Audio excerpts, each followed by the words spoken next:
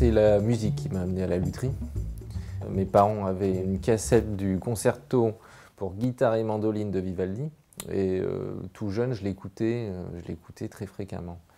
J'ai tout de suite eu une connexion euh, assez intime avec cette musique, baroque en l'occurrence.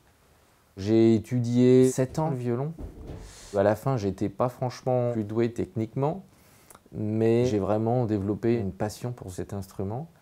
Et là, j'ai commencé d'être intéressé par l'instrument lui-même. Je voulais le démonter, savoir ce qui, comment il était fait, regarder ce qu'il y avait dedans. Et donc, ça m'a amené directement à la lutherie. Le contact avec le bois vient de mon père, qui est compagnon menuisier. Donc, j'étais toujours dans son atelier euh, à l'observer. Et c'est là où j'ai évidemment développé euh, un intérêt pour le bois, je dirais un respect pour le bois. Et donc, je suis parti à Mirecourt à 15 ans. J'y suis resté 5 ans on avait des cours de photographie à Mirecourt. Et là, j'ai appris à enregistrer ce que je trouvais fascinant dans mon environnement.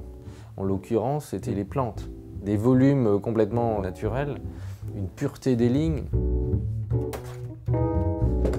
Dans la lutherie, il y a clairement un pourcentage de sculpture qui n'est pas négligeable, on va dire, qui est même très important.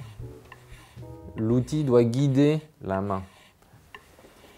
Quand on arrive devant un bloc de bois ou un bloc de pierre, c'est arriver à voir ce que l'on doit enlever euh, et par quel bout commencer. Après, c'est la technique qui va nous amener à, savoir euh, quel outil choisir. Mais c'est vraiment euh, cette capacité à voir qui est très très compliquée à transmettre et à apprendre.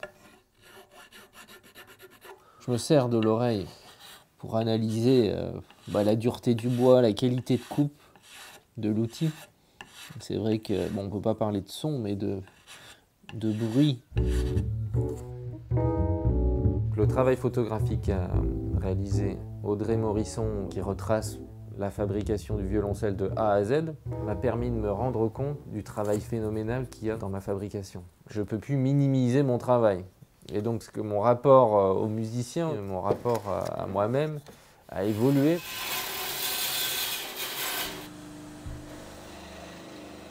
On reconnaît de manière très évidente le travail d'un luthier. Il n'y a pas besoin d'essayer de faire une bosse euh, ou de faire un volume complètement différent pour que ça devienne un instrument euh, personnel. L'idée et la difficulté, donc, c'est d'utiliser ce cadre classique et d'arriver à faire ses propres bosses. Et ça, c'est ce euh, vers quoi je tends, autant que possible en tout cas.